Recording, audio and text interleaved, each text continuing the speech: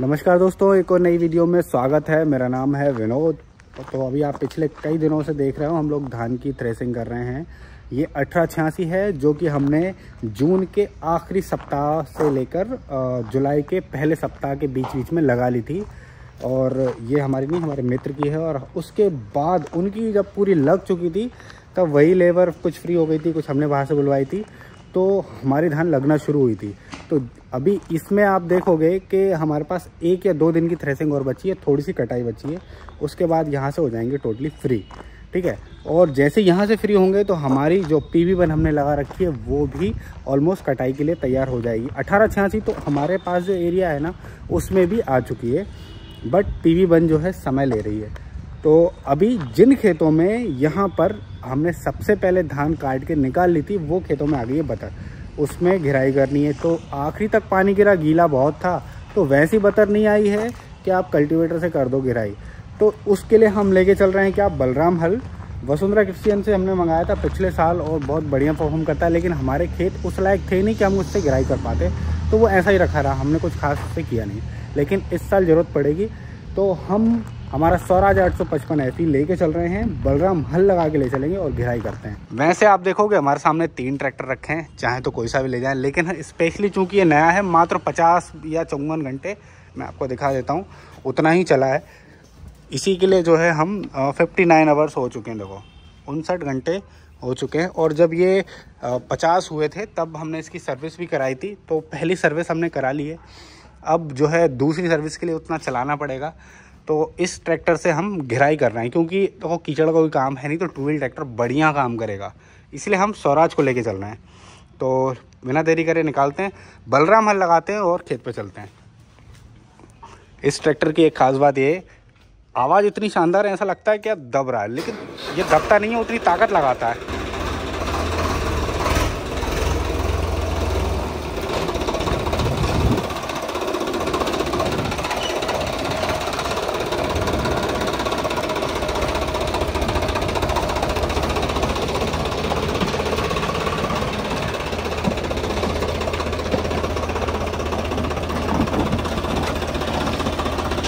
तो दोस्तों, सामने ये रखा हुआ है हमारा बलराम हल, जो कि हमने वसुंधरा कृषि यंत्र से मंगाया था। और ये रखे रखे ही ऐसा हो गया, गंदा सा। ये देख लो आप, वसुंधरा कृषि यंत्र की ब्रांडिंग हो रखी है यहाँ पे, और इनकी संपर्क डिटेल मैं आपको दे दूँगा डिस्क्रिप्शन में और कमेंट में मिल जाएगी। और ये देखो एल शेप में इसकी होती है, जैसे बलराम दाऊ जो रखते थे ना भगवान बलराम। तो वैसा ही हल है, इसीलिए इसको बलराम हल कहते हैं। और एक और डिज़ाइन होती है जिसमें ये कर्व टाइप का होता है, हमने पहले लिया था लेकिन वो सफल हुआ नहीं तो हमने वापस कर दिया। तो वो इतना ज़्यादा गहराई ले नहीं पाता। ये तो भाई जितना चाहो उतना ताकत लगा दो। तो इसके लिए हम जो है इस ट्रैक्टर से चलाएँगे। ये आ गया हमारा स्वराज। और ये भी मतलब बलराम ये है। जैसी जाओ वैसी ताकत लगा दो, कोई फ़र्क नहीं पड़ता। आरसी पे हमको इसकी 50 एक भाई ने कमेंट भी करके पूछा था कि आरसी पे इस पर कितने एचपी लिख के दिया है। तो भैया ये ना आरसी पे पचास एच लिख के दिया है और किसी और वीडियो में मैं आरसी ले आऊँगा जो कि घर पे है और आपको उसका दिखा दूँगा। ठीक है? लेकिन ये ताकत तो वही पचपन की लगाता है। जब मैं इसमें टर्बो वगैरह लगा दूँगा ना, तब की बात अलग होगी, कितनी होगी, भगवान जाने। लेकिन अभी ये कम नहीं पड़ता। खास करके ट्रॉली और गहराई जैसे मामलों में तो ये कभी कम नहीं पड़ता। पहले इसको लगाओ। क्या यहाँ से तो उठा तो पाओगे ना? ये थोड़ी ना उठ पाएगी। पीछे हो गई आगे करो थोड़ा। तो भाई साहब, ये जो दिन देख रहे हो ना, अभी ना भयंकर वाली धूप पड़ रही है और इतनी चमचमारी धूप में मुझे काला चश्मा भी लगाना पड़ रहा है। और शाम जैसी होगी ना, ठंड लगने लगेगी, तगड़ी वाली। तो अभी जो कुछ दिन पर जब तक बोनी होगी ना, ऐसा ही चलेगा। दिन में भयंकर वाली गर्मी लगेगी और धूप भी रहेगी और शाम से ठंड पड़ेगी। उसके बाद प्रॉपर ठंड आएगी। और बहुत सारे भाई लोग ये सोचते हो मैं परमानेंट चश्मा क्यों लगाता हूँ? ये आपको सन ग्लास ज़रूर दिख रहा होगा, लेकिन ये ना साथ में पावर ग्लास भी है। मेरी आँखों पे चश्मा लगा हुआ है तो मैंने क्या सब तरह के चश्मे बनवा रखे हैं जो कि सन ग्लासेस भी हैं पावर ग्लासेस भी हैं तो बदल बदल के पहनता रहता हूँ तो वो थोड़ा लगता है। बाकी मेरे को आँखों पे सच में मतलब बिना चश्मे के दिखाई नहीं देता ठीक से इसलिए पहनता हूँ। बाकी हमारा स्वराज हो रहा है रेडी वो जितनी तुमने चढ़ाई थी ना वो गिन के कम कर देना साइड में उधर मैदान में खड़ा कर लो।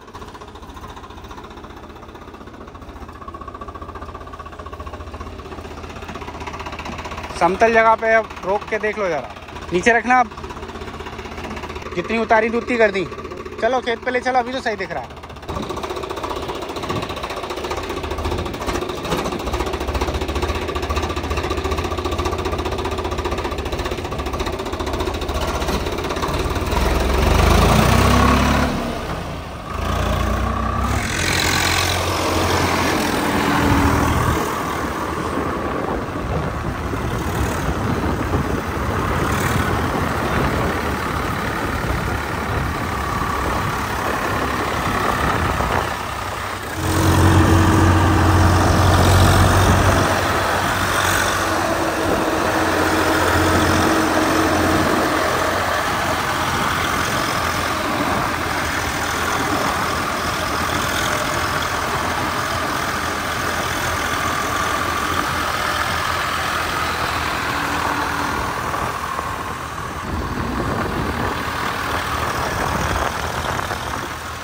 भाई ट्रैक्टर पीछे और हम आ गए बाइक से और आपको आते हैं बलरावल की ताकत। और ये हमारी बुलेट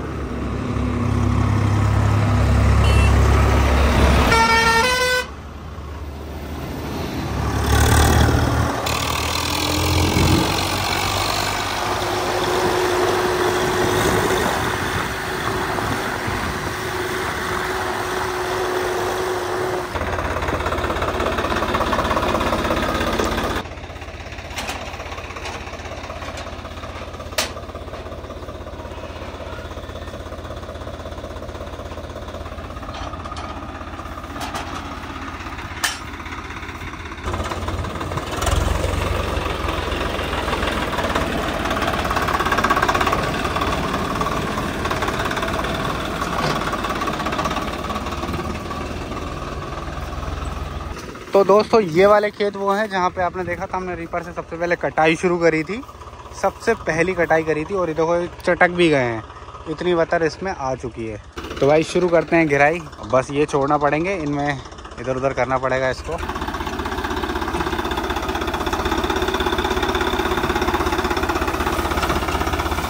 और अब देखते हैं कि हमारे स्वराज 855 ऐसी कितनी दम लगा पाता है। और अगर हम कल्टीवेटर की बात करें तो इनका कल्टीवेटर काफ़ी अच्छा है। मतलब बिल्ड क्वालिटी बहुत अच्छी है। नॉर्मली आप देखोगे ना तो दो पाइपों पे ही मिलते हैं। इसमें तीन पाइप दिए हुए हैं। मतलब काफ़ी अच्छी सपोर्ट दी है। झूले में भी देखोगे तो तीन पत्ते दे रखे हैं। तो बहुत ही बढ़िया जो है यहाँ पे दे रखा है। और आप हमारे आठ सौ पचपन की आवाज़ सुनो। कितना शानदार जो है लेके चल रहा है। गहराई देखो। इसका फ़ायदा ये है कि ये आप मतलब ऐसा नहीं कि उचकता नहीं है कल्टीवेटर लेके जाएगा तो ये लेके ही जाएगा।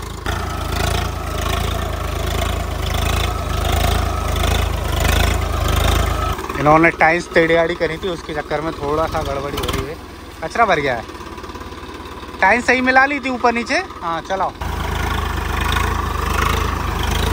देखो, मैड़ आ गई पूरी।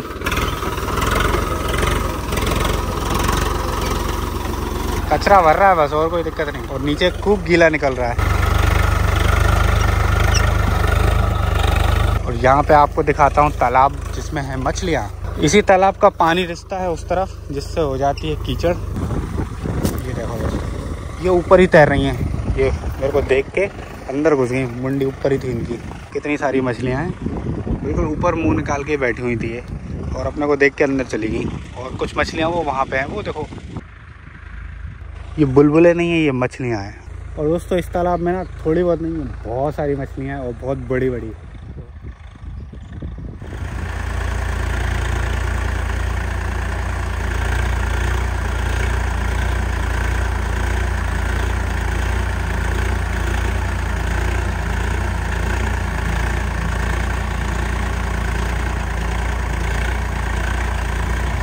अभी पूछते हैं कौन से गियर में चल रहा है और क्या इससे तेज चल पाएगा। मेड़ को निपटाते हुए ऐसे आसान नहीं है मेड़ को तोड़ना। तो कौन से गियर में चल रहा है? मीडियम पहला, और तेज नहीं चल पा रहा। अच्छा स्लिप मारेगा ओके चलो, दूसरे में करके देखना जरा एक बार। मीडियम के पहले में चल रहा है अपन ने मीडियम का दूसरा करवाया है। मीडियम के दूसरे में भी बढ़िया चल रहा है।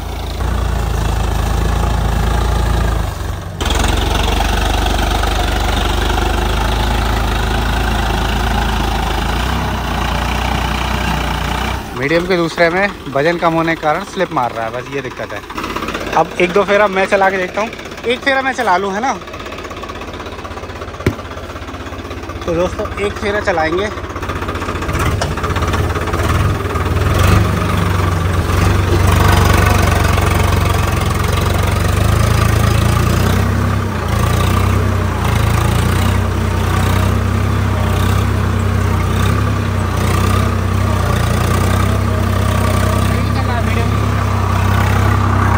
तो भाई बारह चौदह सौ के आरपीएम पे चल रहा है मीडियम के दूसरे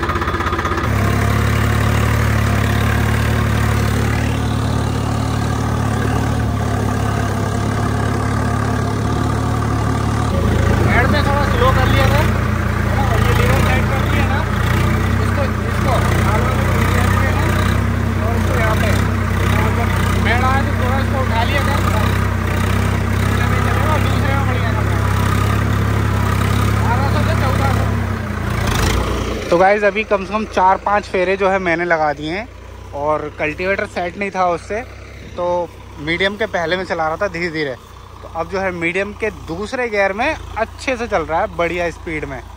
ठीक है? तो ये ढेर के इस तरह की कोनियाँ ये जरा सी है, बस ये भर के और एक कोनिया उधर है।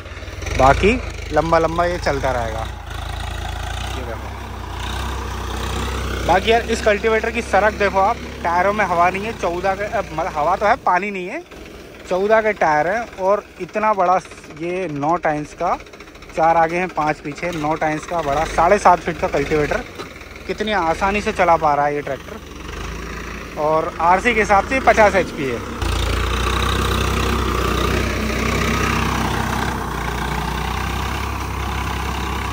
और बढ़िया गहराई लेके चल रहा है। मुझे इस कल्टीवेटर की खास बात ये लगी, इसकी जो टाइल्स का डिज़ाइन है ना, वो बहुत यूनिक है। वो पीछे की साइड आप देखोगे ना थोड़ा सा कर्व में है मतलब उस तरफ़ झुकी हुई जब ये नीचे चलती है तो ऐसा लगता है पीछे की तरफ़ ये फोल्ड हो गई है है ना? जैसे देखो, अभी ऐसा लग रहा है ये पीछे की तरफ़ खिंचा गई हो। ये देखो। तो ये इसकी डिज़ाइन ही ऐसी है, और उसका जो कुसिया है, जो नीचे चलता है वो, अभी देखो आप बिल्कुल सारे के सारे लेवल में है। तो कितना भी मतलब असंतुलित या कैसा भी खेत हो। और देखो, कितनी बढ़िया गहराई करी है।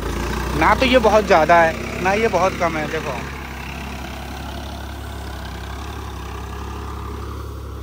जैसे अभी आप देखोगे ना यहाँ पे तो ये जितनी आवश्यकता है, इसमें अब क्या है, थोड़ी सी हवा लग जाएगी ना तो रोटावेटर चला देंगे तो ये मिट्टी बैठ जाएगी। डीमे तो निकलेंगे ही, और इसमें बहुत छोटे डीमे निकल रहे हैं, बलराम हल में तो डीमे निकलते ही हैं। तो ये गहराई जो है, हम अगर यहाँ से नोटिस करें तो ये गहराई है, इतनी। आधा बीता, पाँच छः अंगुल, पाँच अंगुल। तो गेहूँ बोना है, इसमें चने बोना है, जो भी करना है। रोटावेटर चलाने के बाद ये आधी रह जाएगी गहराई।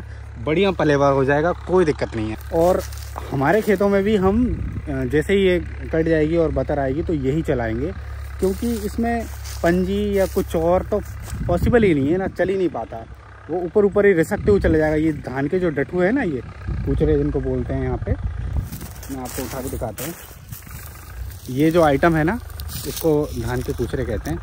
कल्टीवेटर होता है ना, जो ट्रेडिशनल क्लासिक कल्टीवेटर जिसको सदियों से यूज़ कर रहे हैं, वो उसकी पाँच इसके ऊपर से फिसल जाती है और रिसकते हुए ऊपर ऊपर ही चला है। वो नीचे जाता ही नहीं है। और अगर बैठ गया नीचे तो ट्रैक्टर उसको खींच नहीं पाता, क्योंकि उसको बहुत लंबी चौड़ी जगह, जो कि कर रही। इसमें क्या होता है, मिट्टी में इस इस समय धान में इतना ज़्यादा पानी भरा रहता है ना लंबे समय तक तो ये मिट्टी बहुत कठोर हो जाती है। और एक राउंड लगा के देखो, ट्रैक्टर आ गया वापस। साउंड ही इसका तो मस्त है यार, ऐसा लगता है मतलब मज़े ही आ गया क्या चलता है ट्रैक्टर? तो भाई, आपको इस कल्टीवेटर की, बलराम हल की बिल्ड क्वालिटी कैसी लगी, मुझे ज़रूर बताना। और इसमें कोई मेंटेनेंस वाला तो कोई लफड़ा है नहीं। बस पाँसें हैं जो कि समय के साथ पजवानी पड़ती हैं। और इसमें तो क्या डबल हो जाती हैं। तो आप पलट के लगा लो। दोस्तों, पीछे हमारा ट्रैक्टर आ रहा है और उसकी आवाज़ सुनो यार। क्या खनखनाटेदार आवाज़ आ रही है? मतलब मज़े का यार।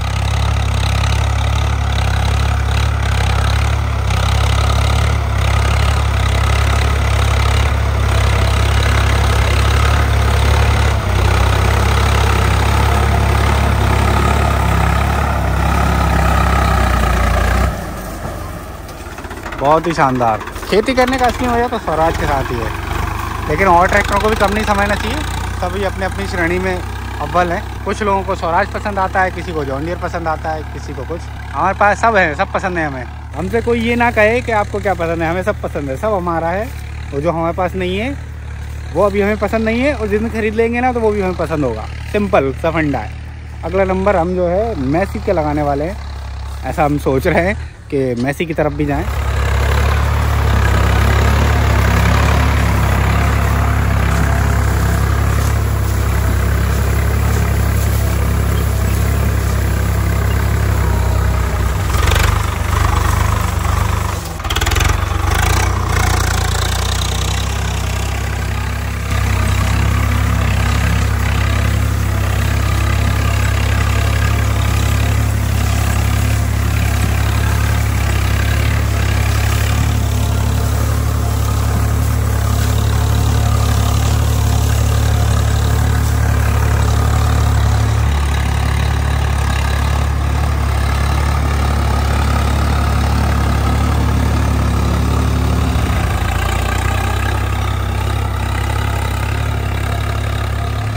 जैसे ही गिराई पूरी हो जाएगी, एक दिन के धूप देने के बाद इसमें रोटावेटर चलाएँगे और उसके बाद कर देंगे पलेवा शुरू।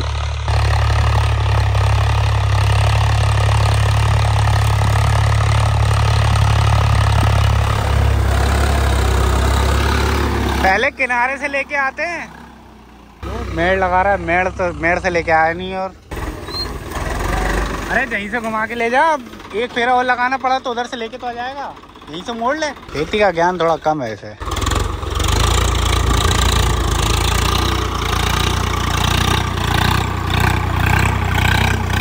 अरुण होता है तो कुछ बताना नहीं पड़ता, लेकिन उसकी इतफाक से, आज से तबीयत ख़राब हो गई तो उसको एडमिट कराना पड़ा। पता नहीं क्या है, उसकी बॉडी ना ठीक से मतलब रोगों से लड़ नहीं पाती। साल में चार पाँच बार उसकी तबीयत ख़राब होती है और एकदम से बहुत तेज़ होती है। फिर से तबीयत ख़राब हो गई। देखो, अभी कितना सुंदर लग रहा है। वो वाली मेड़ लग गया, बस। इसके बाद ऊपर वाले खेतों में शिफ्ट कराते हैं। ऊपर वाले ना, ये कोनिए के पूरे गड़ा ये निपटा दो।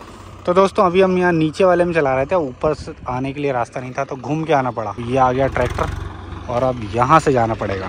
तब मैंने एक वीडियो दिखाई थी जहाँ पे थ्रेसिंग चल रही थी, तब भी यहीं से रास्ता था।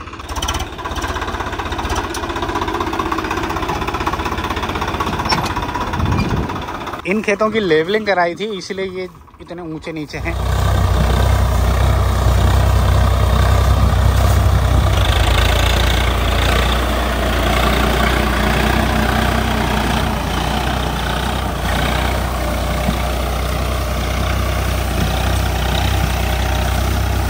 ये देखो भाई,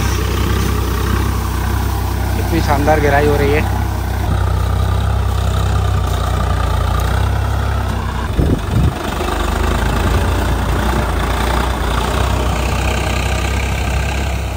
तो दोस्तों, हमारे स्वराज 855 से गिराई चल रही है, जिसमें बलराम हल भी चल रहा है और ऐसी सूखी जगहों पे यही चल पाता है मतलब कर्री ज़मीन पे।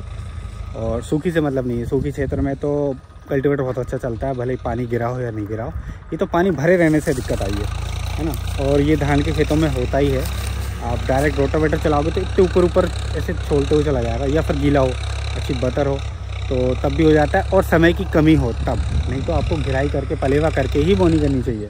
और मैं हमेशा इसी चीज़ के समर्थन में रहता हूँ कि पलेवा करके तभी अच्छा जमता है। क्योंकि अगर एक बार बोनी फैल हो गई ना, फिर आप कितना कुछ भी कर लो, दोबारा जमती ही नहीं है।